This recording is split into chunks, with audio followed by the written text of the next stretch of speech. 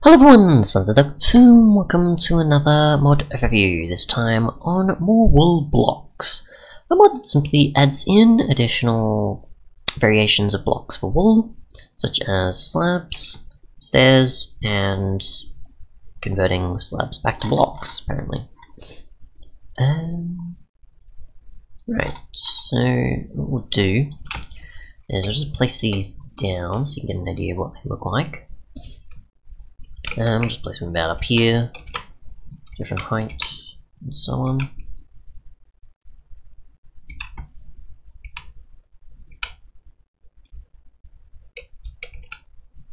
We can't mix them, so that's fine enough. Let's move these out of the way. So, like so.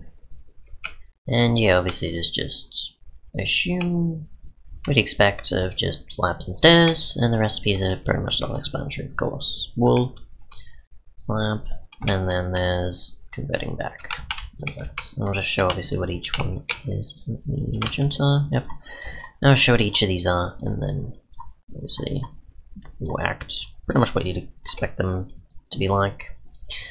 Just stairs and slabs, there's not really much need to cover that there but just so you can get an idea of what they look like, even if it is just wool and stair slab versions, um, just to see them actually visible and how it sort of is presented, I guess, throughout on each of the different corners and such.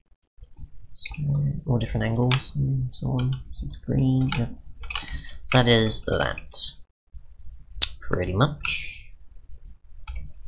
of all 16 colors. Now I don't think there's a way you can use like a wool block and dye the stair versions or slab versions. It's still just you need to use the block and then that to do that. Um, these aren't burnable either, so yeah. Pretty much just as slab and stair versions of wool. No other properties than that that wool has. Thanks so much for watching, and goodbye.